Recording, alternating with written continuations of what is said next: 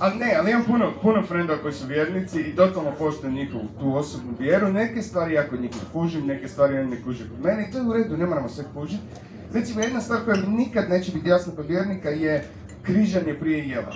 Kao, ko određuje na šta se križa, a na šta ne? Znaš, niko od mojih vjernika, frendova, se ne križa na onaj kikiriki kad dobiš spivu ili, ili načo se u sine stavlja. Znaš ono, kao niko.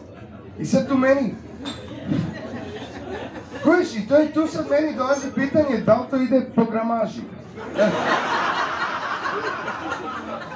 I koliko grama jela mora imat, znaš? Još je okej, još je okej ako je ono kao, razumijem, obiteljski ručak, Božić, Uskrs, rođendan, šta god, purica, mlinci, francuska, okej, prekriži se. Znaš, ali ja imam frenda koji se mrtav pijan u četiri jutro križa nad kebabom na Savi. Znaš ono? E, ako Bog postoji, pa nemoj mu se javljati tako. Znaš ono?